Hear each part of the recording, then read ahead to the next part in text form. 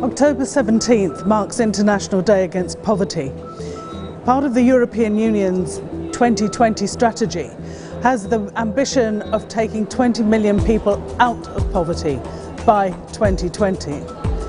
Even when that figure was put in place, that was only one in six of those experiencing poverty in the European Union.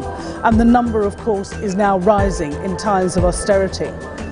What we're seeing is a number of national governments thinking that somehow they can solve the economic crisis by making poor people poorer. And that's something we really have to fight against because we know that social transfers help keep people out of poverty. We know that welfare benefits are a real base to keeping a local economy going. And we also know that if you don't deal with poverty, the long-term effects are totally disabling for people in terms of their whole life chances, not least what it does for children. So we need ambitious targets to reduce poverty, but we also need ambitious targets to deal with the economic crisis, not least by asking questions about how come the world's richest 1% are getting richer at a time when most of the world is getting poorer.